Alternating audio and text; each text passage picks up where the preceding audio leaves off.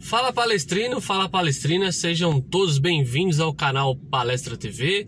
Gostaria de agradecer aí pelas visualizações nos últimos vídeos. Obrigado a todos que se inscreveram aqui no canal, é, que estão comentando aí, enfim, muito obrigado.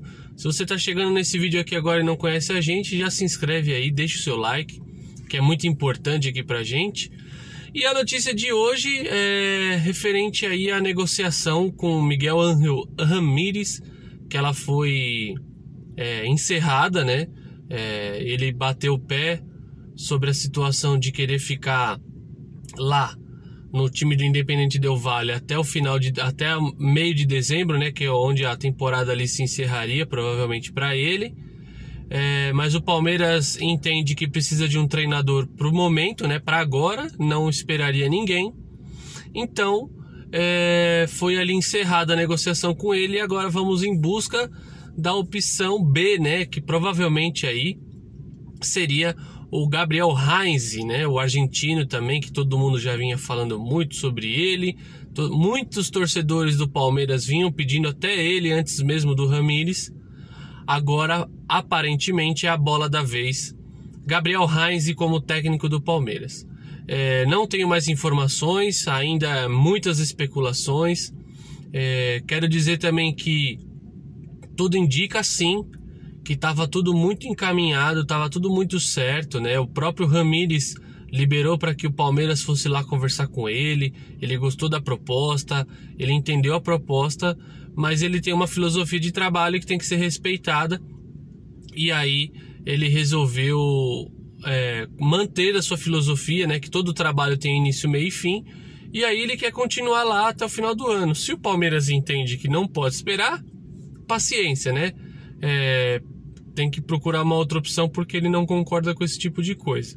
Então agora a gente vai aí correr atrás, né, dessa situação por enquanto temos o Andrei Lopes que está como interino, né? Enquanto isso, a gente vai jogando com ele até encontrar esse novo técnico aí. Vamos esperar aí para que aconteça o quanto antes, né?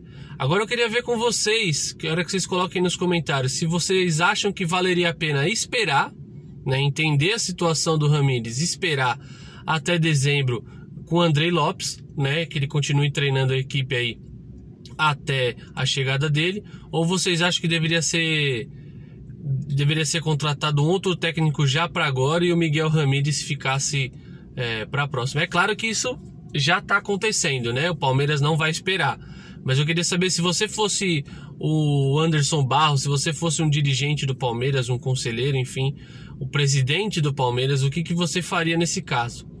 É difícil, é difícil saber, né? É difícil escolher. Mas assim, pensando rapidamente, eu acredito que esperar o Ramires seria bastante interessante. O Andrei Lopes conhece toda a equipe, é, não vai mudar nada até a chegada dele, muito provavelmente, pelo tudo que a gente está acompanhando desse ano, né? É, não vão vir contratações, o Palmeiras é o time que tem e não vai sair muito daquilo, né? Então, é, eu acho que seria uma boa esperar um pouquinho. Mas, né, a decisão foi, foi definida já e agora o Palmeiras busca outro e agora aguardamos aí Gabriel Reis para ser o novo técnico do Palmeiras. Pessoal, não é nada cravado, não é nada certo, tá? A gente está buscando informações ainda.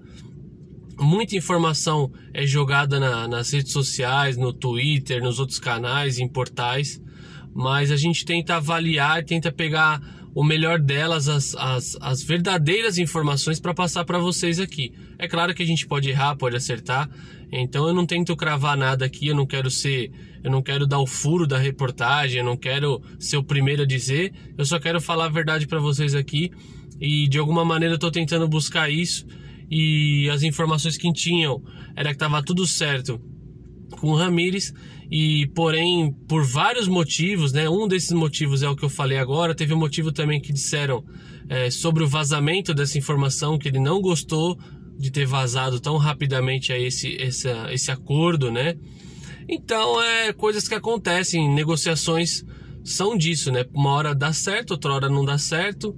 É, várias vezes já aconteceu isso com a gente de ter contratos pré-assinados, é, tudo já pré-programado, tudo já organizado e na de última hora nada acontece, né? Isso faz parte do futebol, não vai ser a primeira vez nem a última. E é isso Então vamos aguardar aí as cenas e a gente vai postando aqui novos vídeos quando tiver mais novas informações. Beleza? Bom dia para vocês, boa, boa quarta-feira. Hoje à noite tem jogo, 9h30, 9h20 eu vou fazer a transmissão a partir das 9h20. Eu vou fazer a transmissão do jogo. Então aguardo vocês mais tarde. Não vai ter imagem, como eu já falei no vídeo anterior, mas a gente vai poder trocar uma ideia. Vocês vão poder debater comigo ali se as substituições foram feitas, se a escalação foi boa, como é que o time tá jogando, como é que não tá, enfim. Vai ser bem dinâmico e interativo. Espero que vocês participem. Beleza? Tamo junto, rapaziada. Forte abraço, avante palestra. É nóis.